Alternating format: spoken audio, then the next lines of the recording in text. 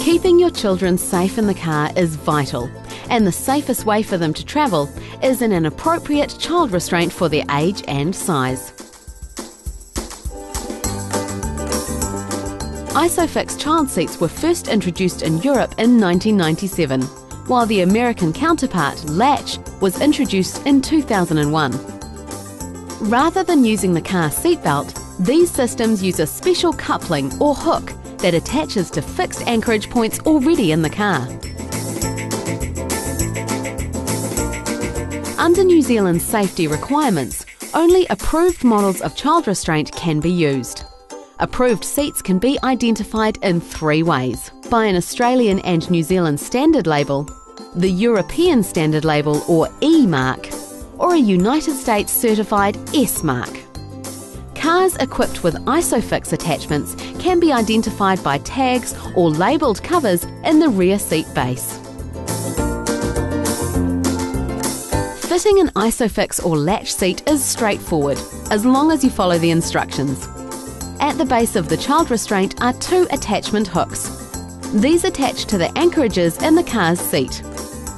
If you have to use your Isofix or latch seat in another vehicle, which is not equipped with anchor points, it is possible to install it using the seatbelt in the same way as a traditional child restraint. Fitting traditional child restraints uses the vehicle seatbelt across the back of the restraint and in many cases upper tether straps. Make sure you read and follow the seat manufacturer's instructions for specific installation information.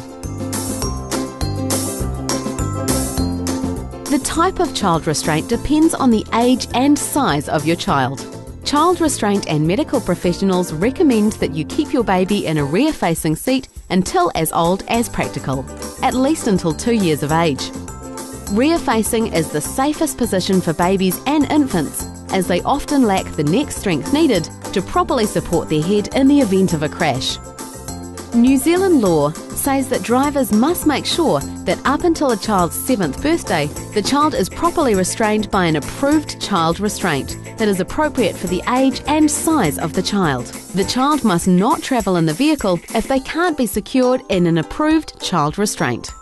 The vehicle safety belt on its own is not an approved child restraint.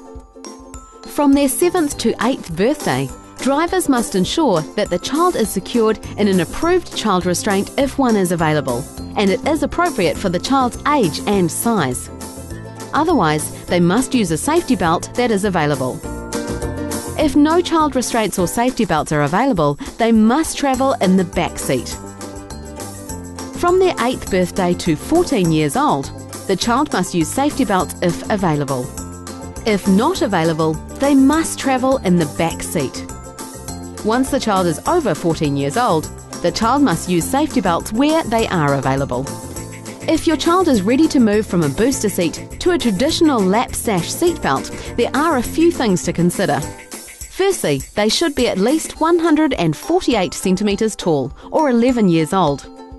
In addition, make sure your child can sit with their back against the seat and their knees bent over the seat edge. The seatbelt sash must be over the middle of their shoulder. Make sure the lap belt sits low across the hips and that this is a position that your child can maintain for the whole car trip.